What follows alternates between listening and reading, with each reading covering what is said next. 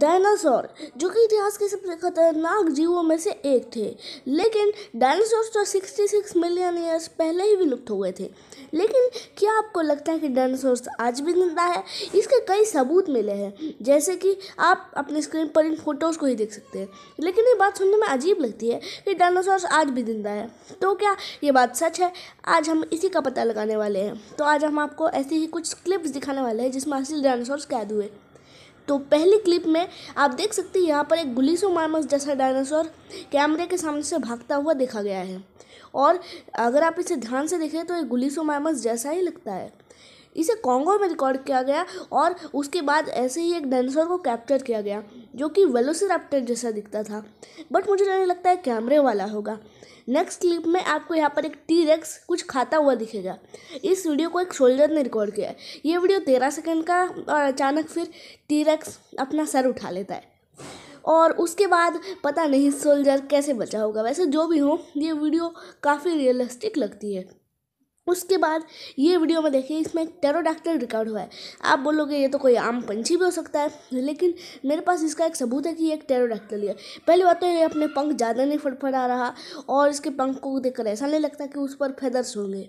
और उसके बाद जब ये अंकल थोड़ा सा आगे जाते हैं, हमारी वीडियो ख़त्म हो जाता है, उसके बाद हम ध्यान से जूम करके देखें तो टेरोडैक्टल जैसा ही लगता है एकदम।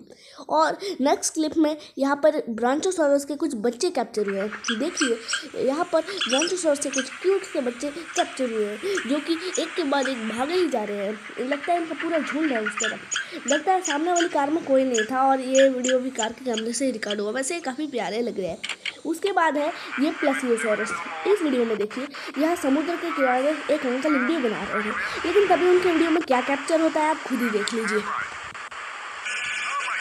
और उसके बाद वो बहुत ज़्यादा चिल्लाते हैं और डर जाते हैं, क्योंकि एकदम प्लेसियोसॉरस जैसा कछुआ तो नहीं हो सकता, कूद नहीं सकते। नेक्स्ट वीडियो में आप देख सकते हैं कि यहाँ पर एक गुफा में एक वेलोसिरैप्टर को देखा गया है, जो कि बिल्कुल वैसा लग रहा है। नेक्स्ट वीडियो में एक नाइट विजन कैमरे में वेलोसिरैप्टर कैद हुआ है। देखिए, अगर आप इसे ध्यान से स्लो करके देखें तो ये बिल्कुल वेलोसिरैप्टर जैसा ही लगता है ये वीडियो तो।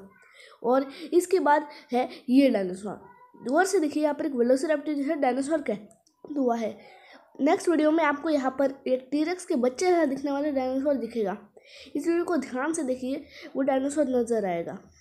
लगता है वो किसी चीज़ का शिकार करने के लिए भाग रहा है। नेक्स्ट वीडियो में आपको यहाँ कोने में एक प्लेसी और प्लेसियोसॉरस तैरता हुआ दिखाई दे रहा होगा, जो कि देखने में थोड़ा सा डरावना लग रहा है क्योंकि ये काफ़ी ज़्यादा बड़ा है। और इसके बाद अगर आप नेक्स्ट वीडियो में देखें तो उसमें भी एक प्लेसियोसॉरस जैसा जानवर एक कैद हुआ है। और लगता है किसी नदी की तो है।